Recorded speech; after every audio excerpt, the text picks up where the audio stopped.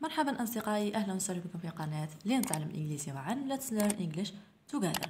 إذا فيديو اليوم إن شاء الله مهم جدا لسنوات الثالثة ابتدائي فهو اليوم ملخص لجميع دروس الفصل الثاني بشرح بسيط ومفصل.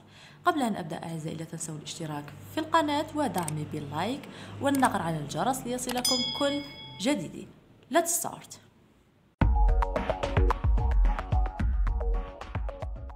إذا كما قلت اليوم ريفيجن ومعناها مراجعة. الدرس الأول وهو colors وهو الألوان. ملاحظة بالنسبة للألوان. في التراب الجزائري هناك مدارس قد آه، اجتازت هذا الدرس أو كان الدرس تم دراسته في الفصل الأول ولكن أغلب المدارس لم يدرسوه بعد وهو الآن آه، يدخل في الفصل الثاني. لكن لا بأس أن نعيده مجددا. قلنا الألوان لدينا black وهو اللون الأسود. black وهو الأسود. لدينا white white وهو الأبيض. لدينا الأخضر ونقول عنه في اللغة الإنجليزية green وهو اللون الأخضر. لدينا brown brown وهو اللون البني. البني. brown نقول عنه في اللغة الإنجليزية brown تذكروا تذكروا جيدا كيفية كتابة الكلمات. لدينا yellow yellow وهو اللون الأصفر. ها هو ذا. لدينا اللون الوردي في اللغة الإنجليزية نقول عنه pink. pink اللون الوردي. لدينا الأحمر ونقول عنه red. وهو الأحمر. ثم لدينا orange. orange وهو متشابه كثيرا في اللغة الفرنسية. orange ولكن في اللغة الإنجليزية؟ نقول orange وهو اللون البرتقالي باللغة العربية. ثم لدينا purple. purple وهو اللون البنفسجي. البنفسجي. ثم لدينا آخر لون وهو blue وهو الأزرق. هذا بالنسبة للدرس الأول للفصل الثاني. ثم الدرس الثاني والذي تطرقنا إليه وهو prepositions. Prepositions أو نقول حروف الجر في اللغة العربية. إذا تطرقنا إلى at in on. At لنتعرف عليها هنا. لدينا صندوق ولدينا كرة. إذا الكرة الآن هي عند الصندوق. عند الصندوق أي بجانبها. ولكن آه، بحروف الجر نقول عند. إذا نقول the ball the ball at هنا نحذف هنا at at the box. الكرة عند العلبة. إذا هي عند. هنا عند. at معناها عند. ثم داخل. الكرة داخل العلبة. كيف نقولها؟ نقول the ball in the box. The ball in the box. الكرة في العلبة. الكرة في العلبة. لدينا on الآن الكرة فوق العلبة. كيف نقولها باللغة الإنجليزية؟ نقول the ball on the box. The ball on the box. قلنا هنا in معناها في on معناها على. إذا the ball on the box. إذا الكرة على العلبة. لدينا أيضا الدرس الثالث وهو school objects الأدوات المدرسية. هنا الأدوات المدرسية.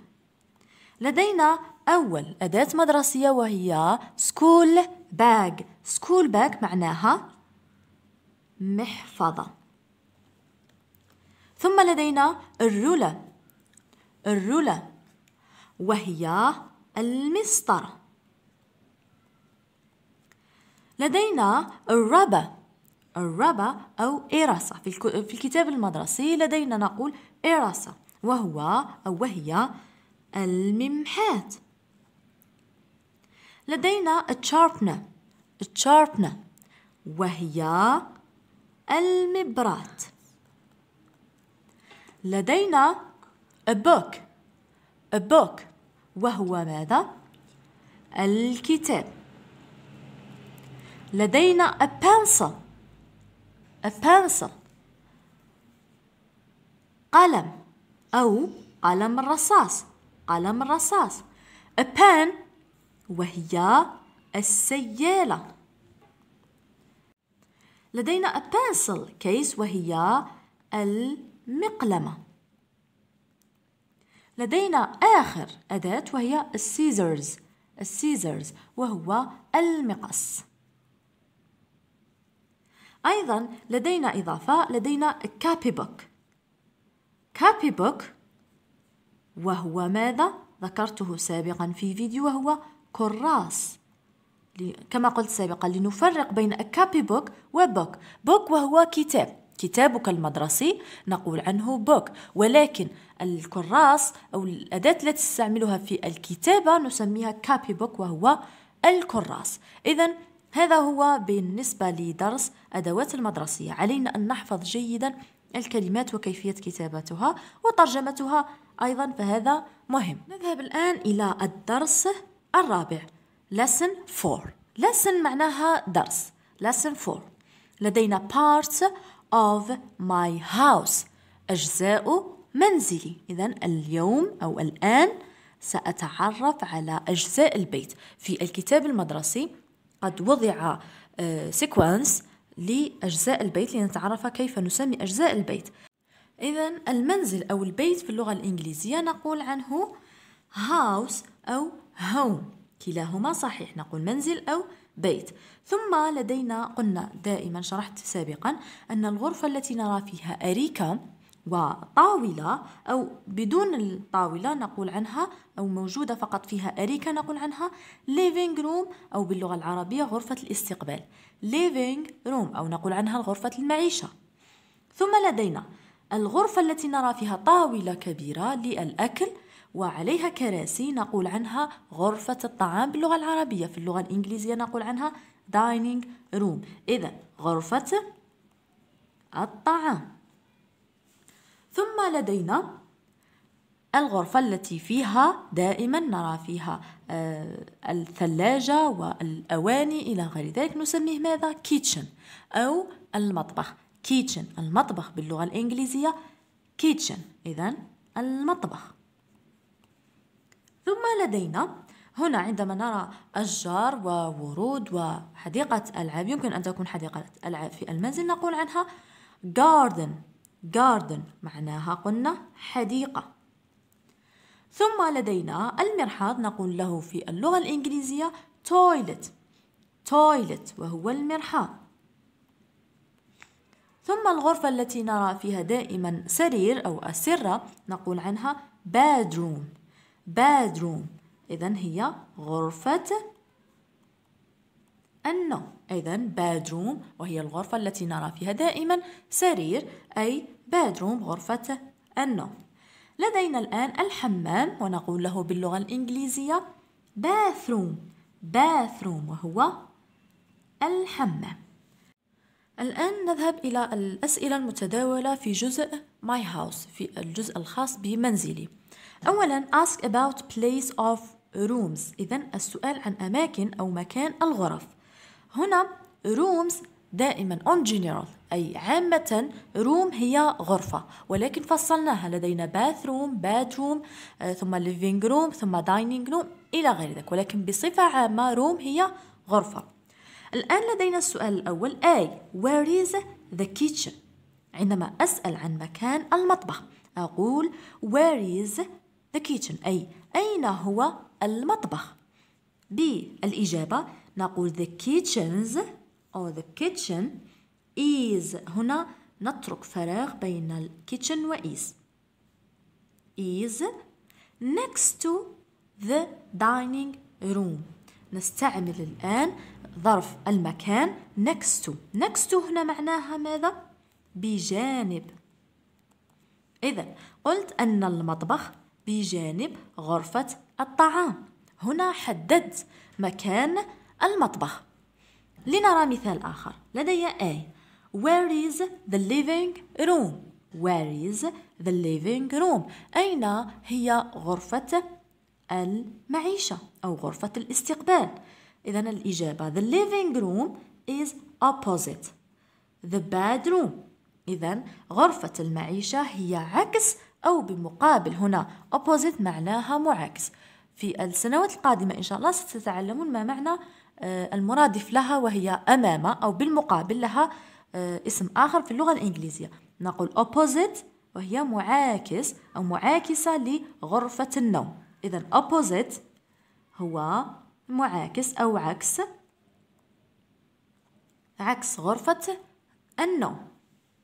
الآن نذهب إلى ask about numbers of room in my house. الآن شخص ما أو صديقك يسألك كم عدد الغرف في منزلكم أو عدد الحمامات أو إلى غير ذلك. كيف أجيب عن هذا السؤال وكيف أطرح هذا السؤال؟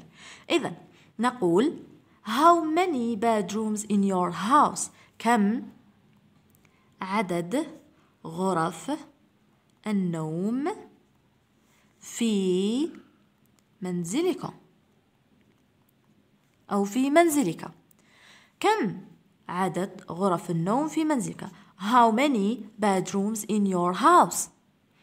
الآن إذا كان لدينا ثلاث غرف أو غرفتان أو ثلاث أو أربع أو خمس كيف أجيب؟ أقول there are ثم أكتب الرقم. Bedrooms. هنا قلت أنه لدينا ثلاث غرف نوم. ما, ما هو الفرق؟ قلت هنا there are three bedrooms. ووضعت هنا S للجمع. لنرى إذا كانت لدينا غرفة نوم واحدة. إذا أقول there is one bedroom. أين هو الاختلاف؟ ممتاز لدينا في الفعل. إذا هنا استعملت are لأنه ستتعلمون في الأزمنة في اللغة الإنجليزية كيف سنكتب؟ R أو متى سنكتب R عندما يكون لدينا اثنان فما فوق. ولكن is عندما تكون لدينا غرفة واحدة أو شيء واحد. إذا there are three bedrooms. ثم استعملت S وهي للجمع. ثم قلت there is one bedroom هنا. كما قلت اخترت حالتين. في حالة إذا كان لدينا قلنا اثنان غرفتان فما فوق نقول R ثم نكتب S. حتى ولو كان لدينا living rooms إذا كان لديكم غرفة استقبال أو آه، غرفتان من غرفة الاستقبال نقول two living rooms وسنكتب as في آخر room.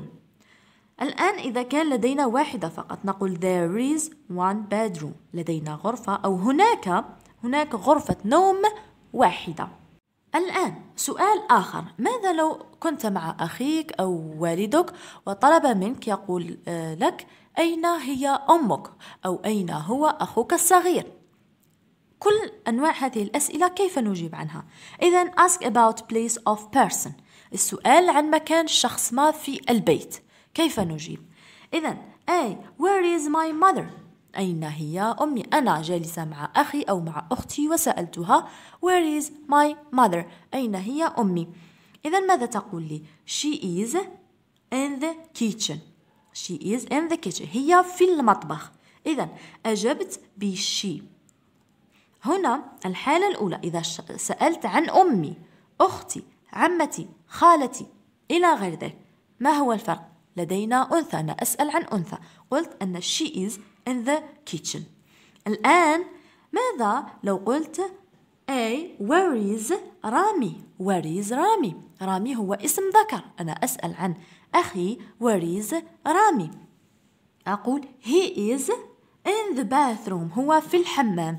إذا ما هو الفرق بين هاتين الإجابتين؟ ممتاز. لدينا هنا she عادت على المرأة وهي my mother لأنها امرأة أو أنثى. قلت she. ولكن بما أنه لدي هنا رامي ماذا لدي؟ لدي ذكر أقول he is in the bathroom. هذا درس بسيط جدا فقط احفظوا أنه للذكر نستعمل هي ولكن للأنثى نستعمل شي ملاحظة أخرى أو معلومة إضافية إذا كان هناك شيء أو حيوان مثال لدي قط اسمه ميمو يقول لي أخي where is ميمو؟ لا أقول له هي لأن اسمه يعود على ذكر وإنما أقول it is. It is in the bathroom أو it is in the bedroom. إذا قطي هو في الغرفة. لذلك الحيوان والأشياء الجامدة لا نقول لها he or she ولكن نقول لها it. هذه المعلومة فقط إضافية للأمهات يمكنهم أن يعطوها لأولادهم. الآن نذهب إلى آخر درس تطرقنا إليه في سيكونس آه، أو في المقطع My Home.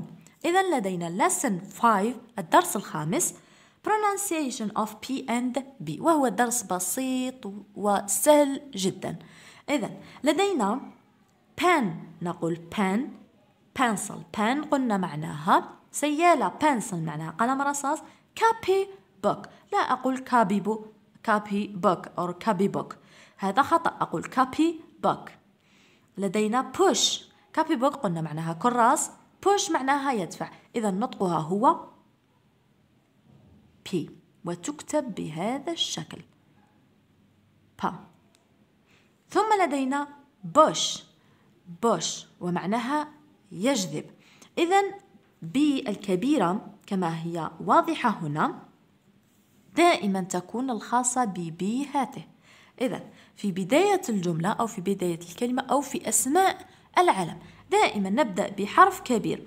في B تتغير وتصبح بهذا الشكل. إذا كتبتها بشكل مصغر أقول bear bear وهو الدب. إذا bear وكتبناها صغيرة بهذا الشكل. bathroom نقول bathroom وليس bathroom bathroom لدينا goodbye.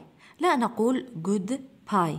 وإضافة أنه آه، بالنسبة ل B في البداية نكتبها كبيرة لا نجدها أبدا في وسط الكلمة. B كبيرة. نجدها دائما small letter أي حرف صغير. goodbye. إذا نقول goodbye وتكتب بي بهذا الشكل. إذا إذا أعزائي هذه هي المراجعة التي حضرتها لكم. إن شاء الله تكون مفيدة لكم.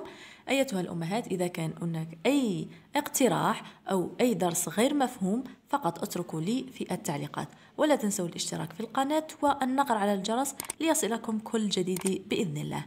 إذا إلى اللقاء. Goodbye.